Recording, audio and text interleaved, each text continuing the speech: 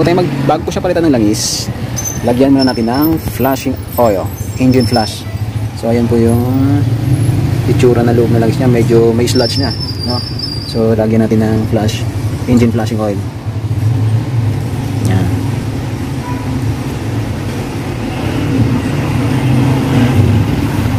So mas maganda to guys, gagawin.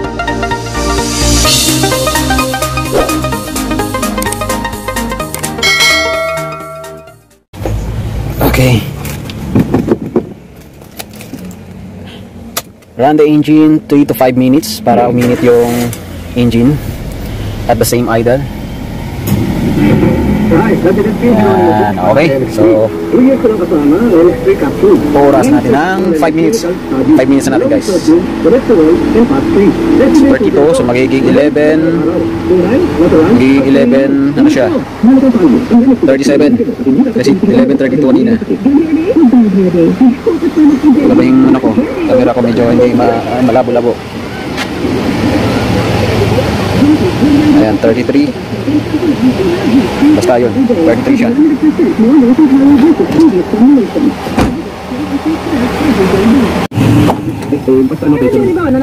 So, yun guys, ah, mga kahalo, ano?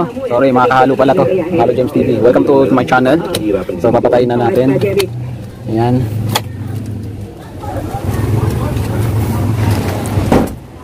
Tapos, syempre, kapag tayo po ay nag-change oil, uh, ugaliin po natin palit. Syempre, pag nagpalit ng langis, palitan din po natin yung oil filter. Napapansin niyo po ba mga kahalo?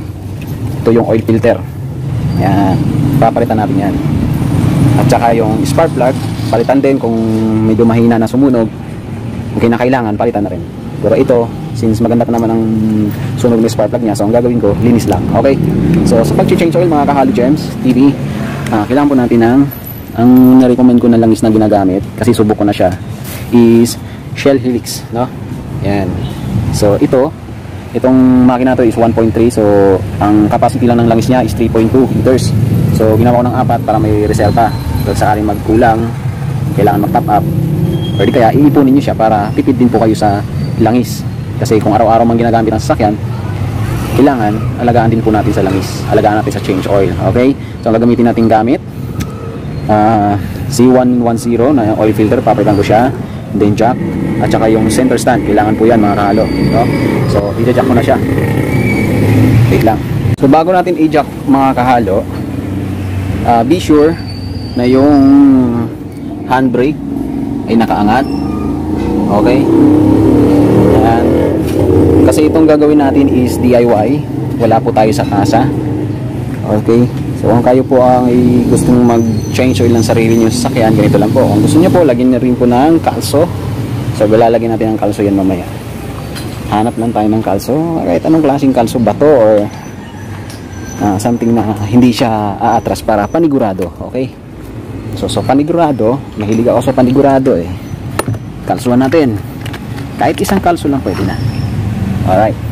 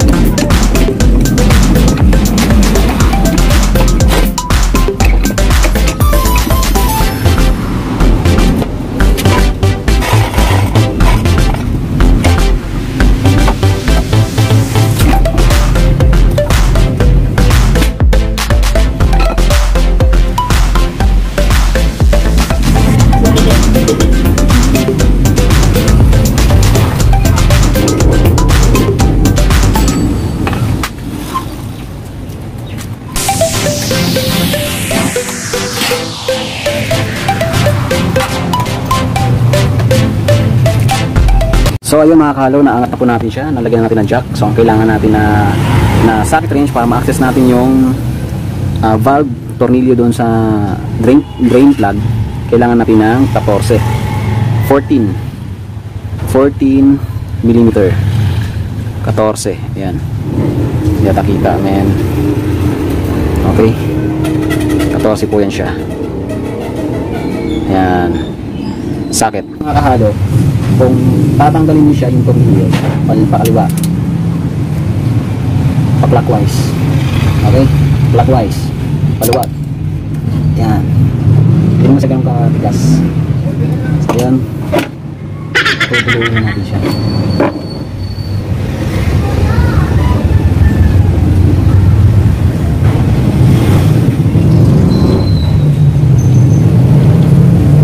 yan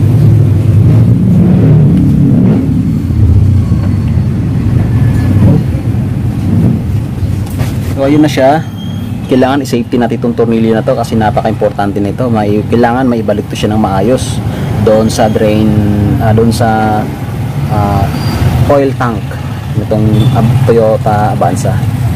So okay. So ngayon, titingnan natin yung oil filter kung mapipihit natin kasi hindi nasa uli sa akin yung pangtanggal ng oil filter ata. So susubukan natin gaga- gagamit tayo ng sandpaper. So, uh, tip yung tip ko lang po sa inyo guys, no? Ah, kailangan medyo palamig-lamigin niyo lang konti yung makina kasi napaandar natin kanina eh, oh. So, tingnan natin kung kaya. Sa safety natin para makita niyo mga kahalo. So kung so kung bago pa kayo sa channel ko, please subscribe, like and share my YouTube channel, please. Para marami pa kayong matututunan. So, ayun po yung ano papansin nyo. Ayun yung Ayan. Okay, tatanggalin natin gamit ang sandpaper itong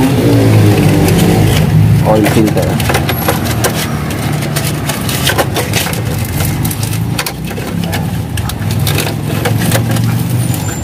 Diba? Matigas siya, matigas. Dito ako nakaposisyon ha.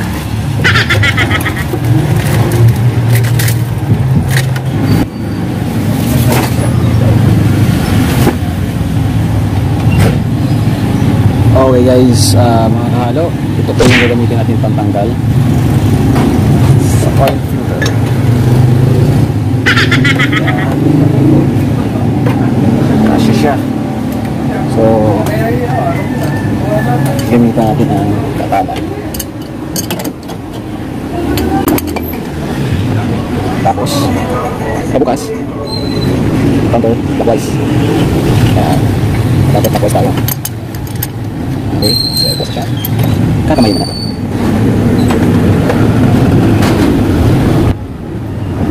Karang. Oil filter 15601.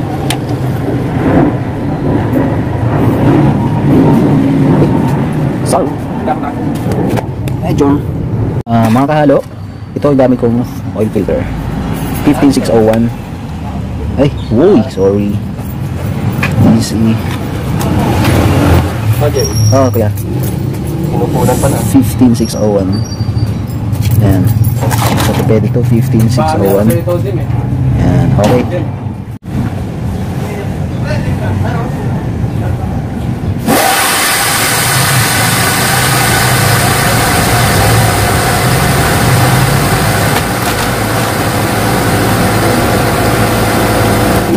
So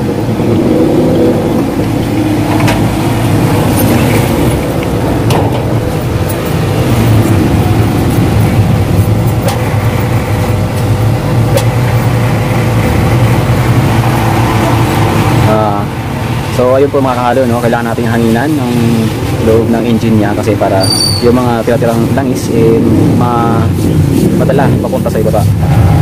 So mga kahalo, ayun po yung langis na tira-tira no. Kung wala yung hangin, kung walang pressure ng air, hindi po yan lalabas. Naandun lang po yan sa mga sulok-sulok. So kailangan, after nyo siyang ma-drain, sundutan nyo talaga agad ng pressure air no so be sure yung pressure air nyo eh naka-drain yung tangke para walang nahalong tubig sa pagbuga ng hangin So nakadalawang buga na ako. May pangatlo pa.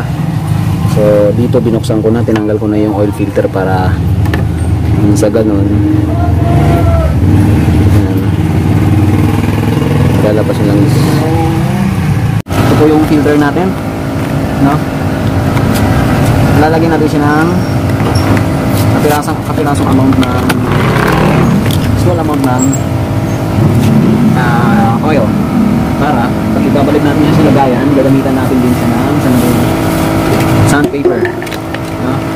gamitan siya ng sandpaper. Unbox natin to.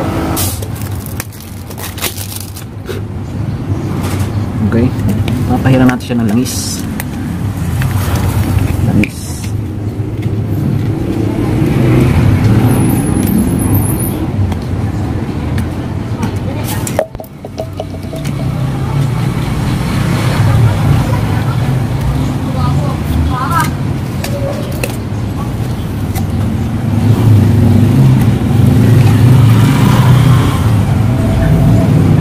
Yan, papayan mo siya ng langis para pag pinihit natin ay medyo smooth.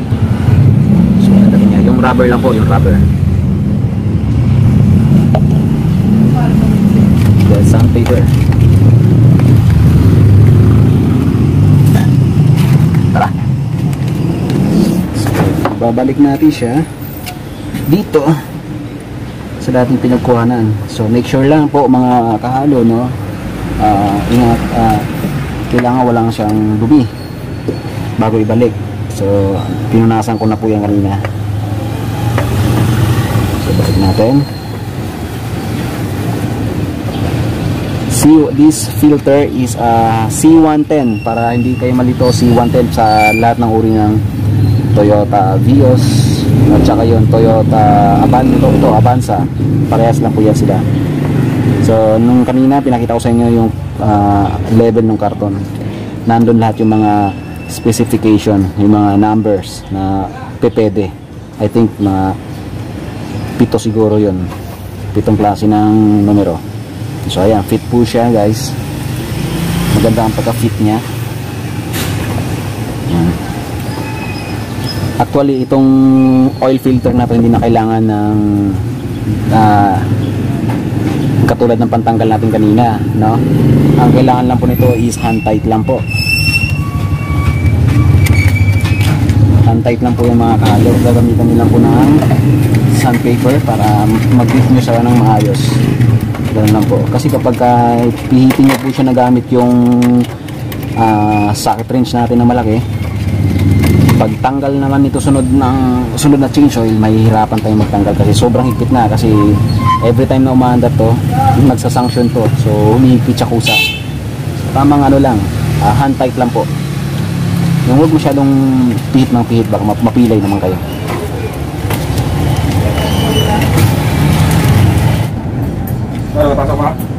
Yes. So ibabalik natin siya. Punasan muna linisin na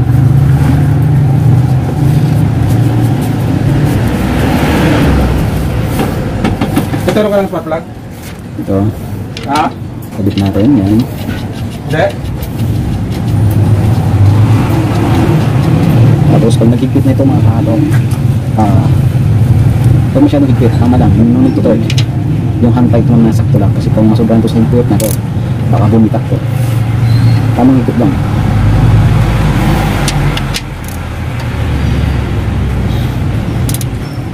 Okay na yan. Ano? So huwag masyadong higpit. Saktong higpit lang, hindi lang yan matatanggal. Tapos, punas-punasin yung gilid para medyo malinis din yan. Kasi natural lang tapat pala rin langis dyan dahil na So okay mga kahalo, uh, huwag niyo pong kalimutan na mag double check ng dipstick, ang dipin niya. Bago yung maglagay ng langis para siguradong hindi kayo sosobra punasan niyo muna to siya. Ayan. pag malinis na ilagay sa safe na lugar. Okay na yan tapos salin na tayo ng langis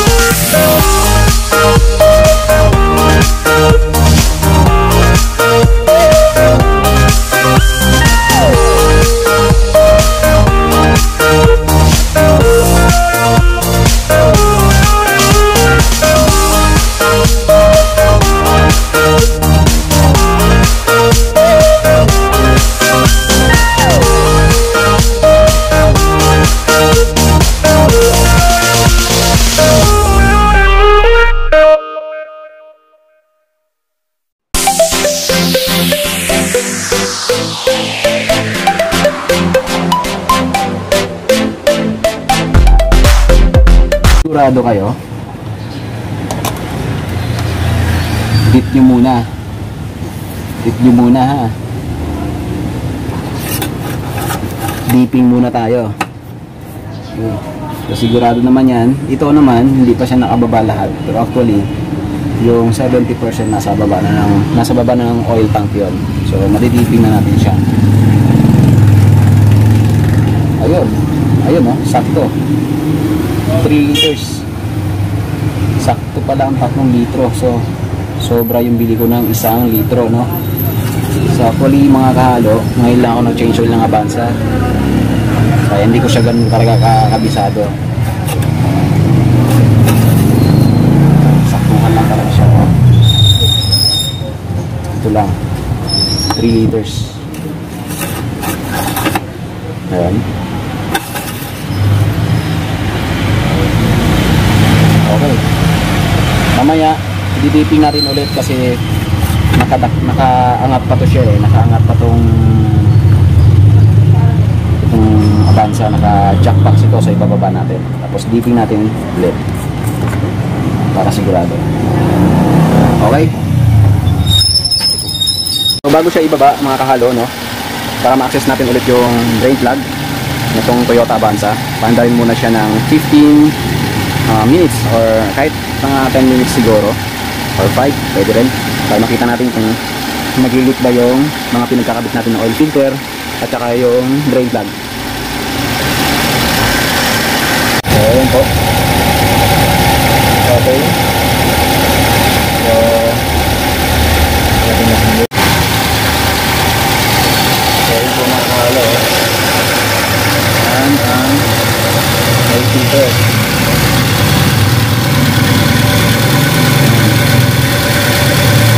So, mapapansin niyo, wala naman siyang leak, di ba? So, okay na yan. Ah, yung mapapansin niyo sa ilalim na tapon-tapon yung langis kanina. So, okay lang yan. Nalilinis naman yan sa engine wash.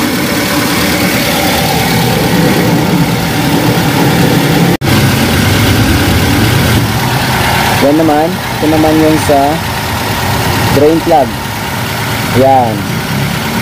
So, papansin nyo, wala siyang bakas ng leakage. So, ibig sabihin, okay na po yan siya mga kahalo. Okay?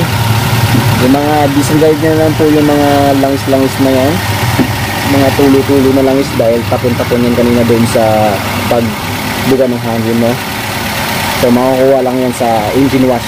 No problem. Importante, wala siyang leak dito. At doon sa kinabit natin oil filter. So, tama lahat. Okay.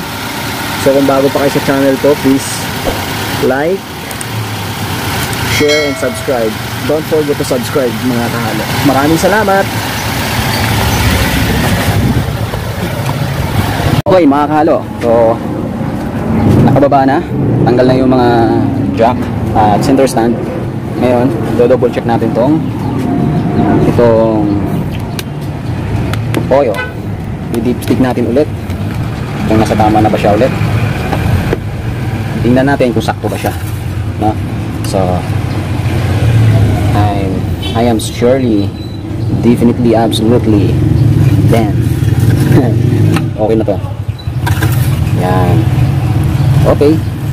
Yan o diba? Saka ulit. Linis na na langis ngayon po siya mga kahalo ha? Wala, yung, wala langis po yan yan dipping natin. Pag kami yan kumintab itinanggal ko kumintab na-editing na siya. Kuha. Okay. Yan right so ayun. Mga kahalo no? Okay na. Maayos siya. Tapos kapag uh, tumakbo na to at every time uh, every time na gagamitin nyo siya bago nyo siya patakbuhin check nyo muna yung langis. Kasi kung kulang po yan kailangan nyo po mag top up dito. Okay? So ganun lang po mga kahalo no ang susunod ko dito i-check at linisin yung spark plug Okay, kasama po yan kapag nag-change oil po kayo, kapag mahina na yung sunog ng gasolina, kailangan nyo na po siyang linisin si spark plug. Kung hindi naman po, tanggalin lang, linisin lang ng konti at ibabalik. Okay? So, yun lang.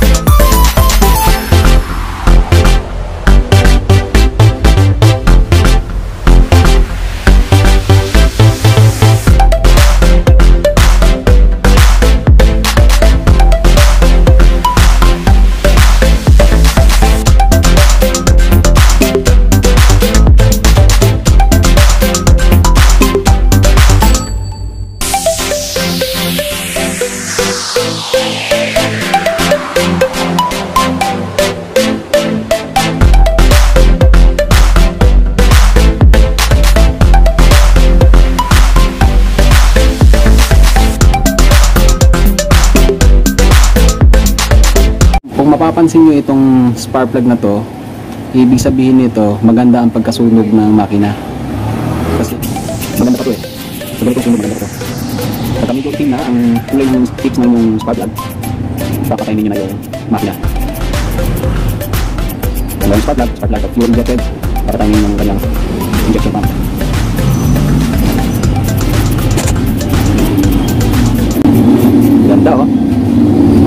Mapansin nyo mga kahalo, ang ganda pa no.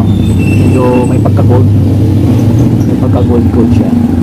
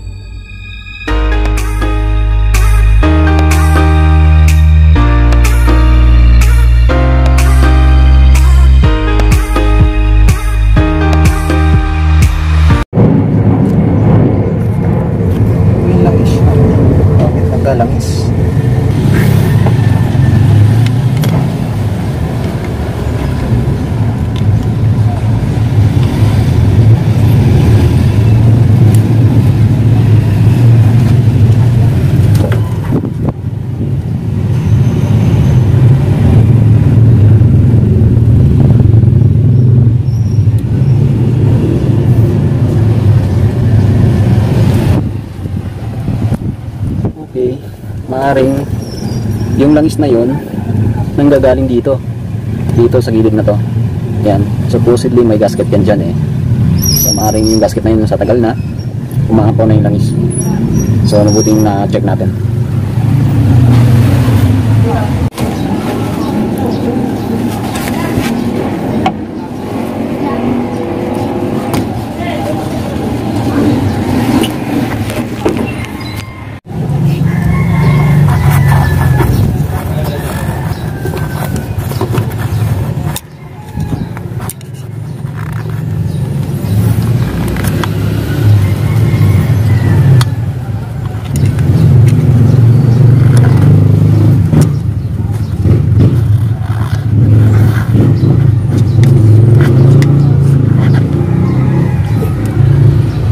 So ayun mga kahalo, no, sinundot, sinundot ko na lang muna siya ng tissue. Para na sa ganun, eh, malinis siya kahit pa paano. Yun yung tissue. Mas maganda tissue ang panlinis kasi mas madali niya ma-absorb. Yun, wala siyang tulo na langis. Dito lang, meron. Ito, mga kahalo, maganda rin ang sunog niya golden brown kung tawagin. Ibig sabihin, maganda ang sulog ng gasolina. Pantay, sakto. Sakto yung hangin, sakto rin yung bigay ng gas.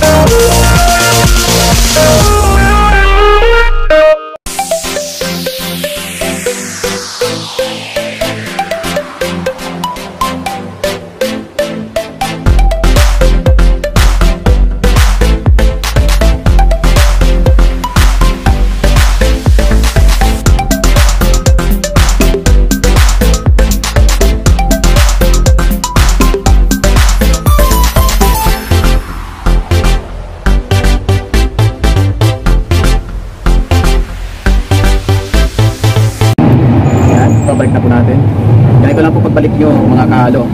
Ah, kung wala po kayong gomang pantusok, pambalik. Kasi itong ganito, may, actually may goma to siya. Kaya minsan naiiwan yung goma pag tinatanggal. So wala rin. Pag tinanggal nyo to, naiiwan yung goma dito. So mas maganda tanggalin nyo yung ganito. Dito nyo siya sasalpak. Para pag ah, balik nyo, hindi siya malalaglag. Hindi, hindi, mapupungil to. Hindi siya mauuntog pag nalalaglag. Kasi medyo may kalanginan po yan. Okay? Tip lang po.